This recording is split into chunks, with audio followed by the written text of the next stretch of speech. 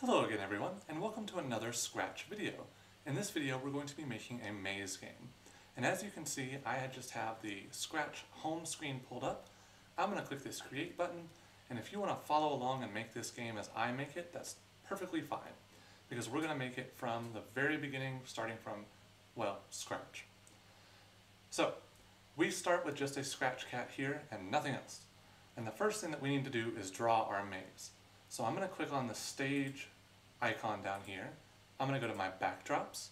And there are two schools of thought when you make these mazes. You can either use this line tool, you can choose your outline color, and I recommend doing a color other than black because some of the sprites are outlined in black, like you see this Scratch Cat is even. And sometimes that messes up when you touch the walls with a sprite that has the same color as the wall color um, it will not recognize the difference in colors sometimes. And that will be important later, which you'll see in a few minutes. So you can use this line tool, whatever color you want, and you can make these nice, straight, perfectly, you know, 90 degree angles and stuff like that, and you can build this really cool maze, make it really intricate. Or you can do what I like to do, which is to use the paint bucket tool, or the paintbrush tool.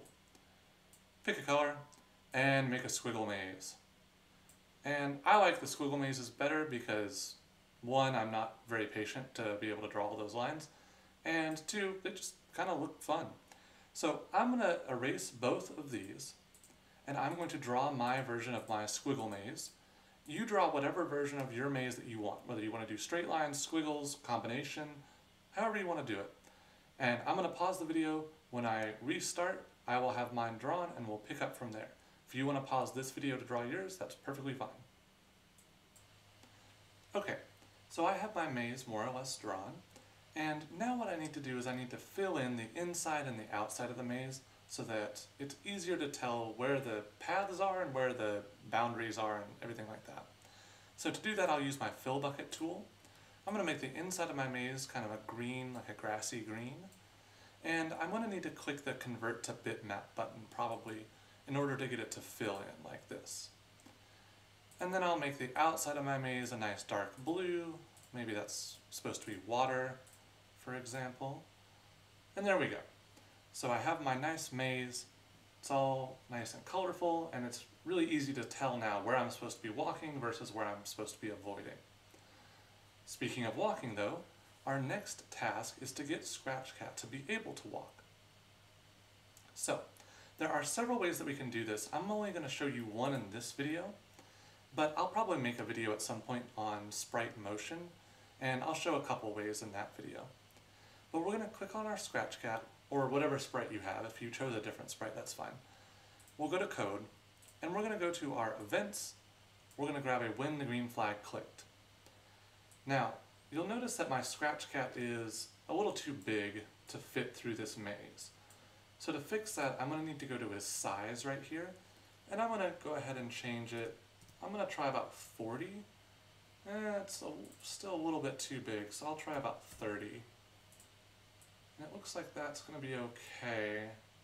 Might have to shrink it down a little bit more to get through some of these little narrow places, so I'll go to something like 25. And you'll need to do this with your sprite as well. And go ahead and then drag your sprite to the beginning of your maze. Once you do that, go to Motion, and grab this block that says go to X and then some number, Y, some number. Your numbers are going to probably be different than mine, and that's totally fine. So don't copy my numbers because my scratch cat is going to be in a different position than yours. Once you have those, go back to your events and grab four of these ones that say when space key pressed. And I'm going to put them in kind of like a plus arrangement like this, or a diamond.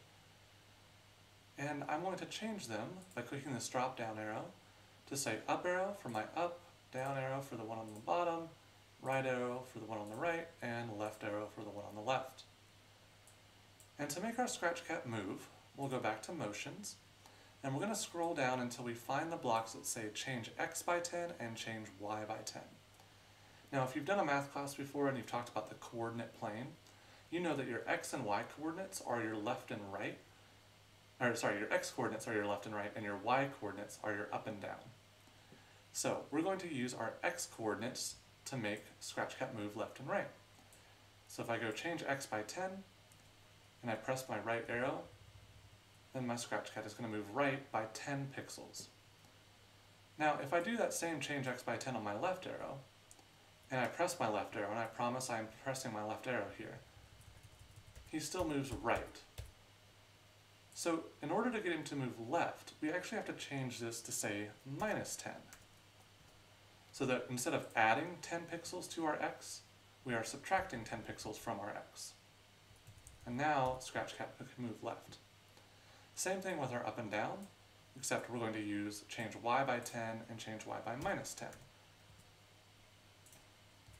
So now Scratchcat can go up, down, left, and right. But you will notice that Scratchcat can also just pass through the walls and cheat. And that's not really great for our game. So we need to find a couple of ways to make Scratchcat respect these walls. There are two ways that I will show you how to do this, and you can choose whatever way you want to do for your project. The first way is going to use four if-then statements from control. And the way an if-then statement works is we're going to put some code or some block in this little diamond right here. And if that happens, whatever we put in this little diamond, then it will run the code below this and whatever we put in this little alligator mouth.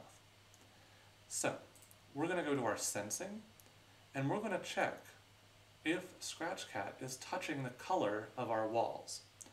To do that, we'll use this touching color block, and you can go ahead and put it in all four of your if-thens. And your touching color block will be uh, probably a different color in this little bubble than mine. It just picks a random color every time, so don't worry if yours is completely different. To get it to be your wall color though, instead of just sort of guessing and hoping to find the exact color, what you'll do is you'll click this button right here with this little eyedropper, and you're gonna hover over your screen over here. You'll notice that this little magnifying glass will change, the rim uh, on the outside will change to match whatever color, and you're going to just select your wall color, and do that for all four.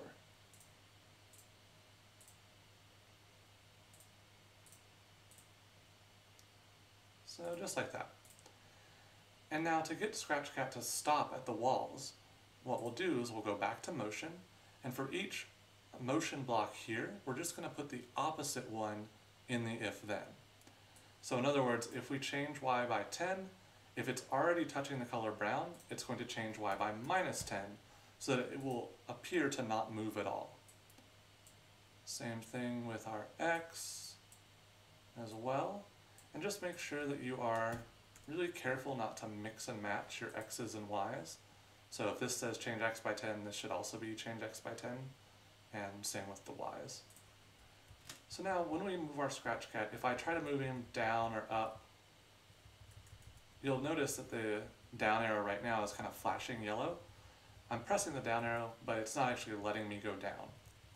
Same with the up arrow now. So that's one way to get Scratch Cat to not be able to move through the walls.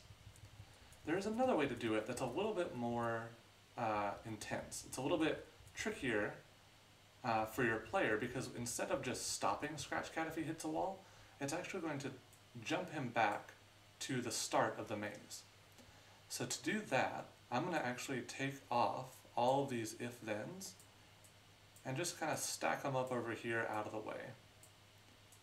You don't have to delete them, you can just stack them up, and that way you can always go back and replace them later.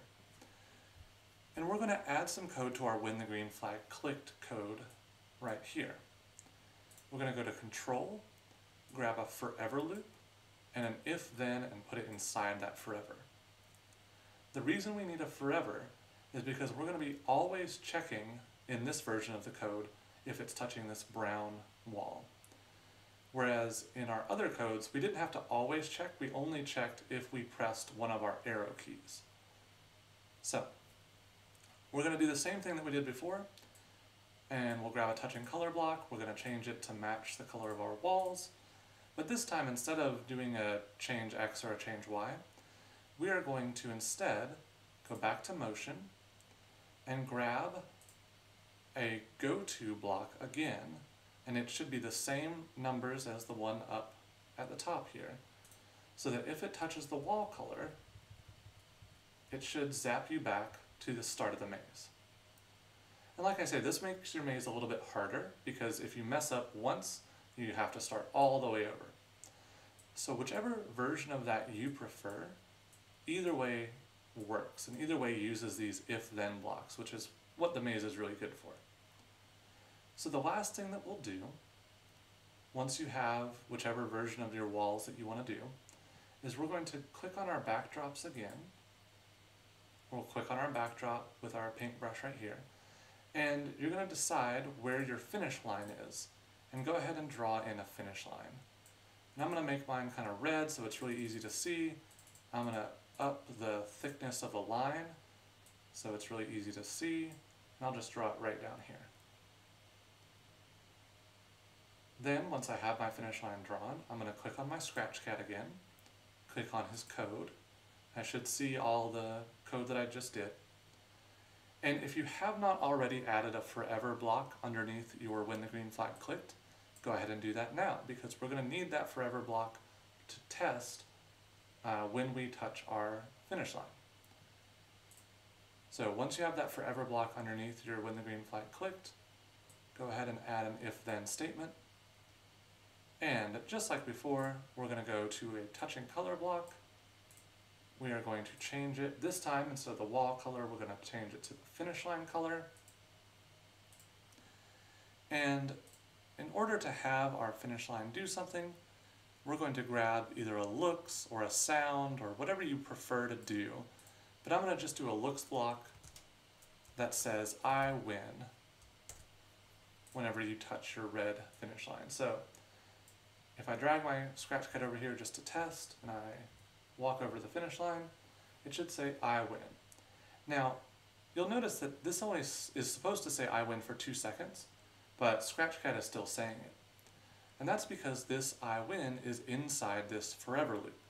So as long as the program is running, it's going to say I win for two seconds, and then it goes back up to here and goes, okay, we're still in a forever loop, so keep saying I win.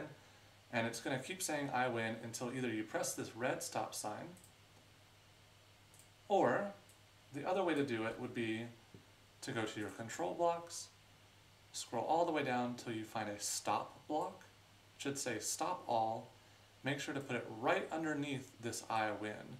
So it should be touching the purple block.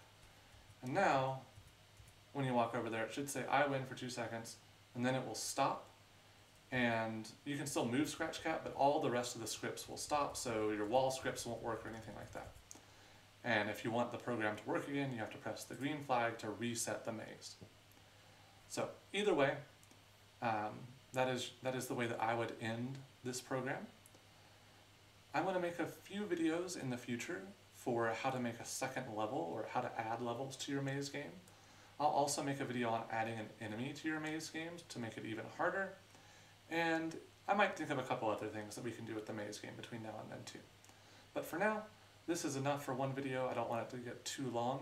So I hope you enjoy making your maze, and I will see you next time.